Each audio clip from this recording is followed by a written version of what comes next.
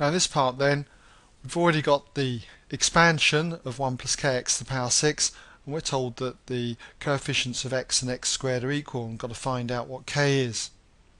So to do that then, what are the coefficients of x?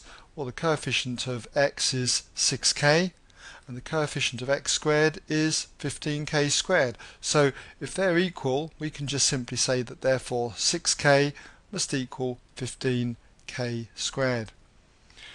So we've got a quadratic equation here and if we were to subtract 6k from both sides we've got 15k squared minus 6k equals 0. What I'd want to do next is to say pull out a common factor here, which would be 3k. So we've got 3k bracket 5k minus 2, and that equals 0. And now you could put each of the factors here equal to 0. You've therefore got either k equals 0 or 5k minus 2 equals 0.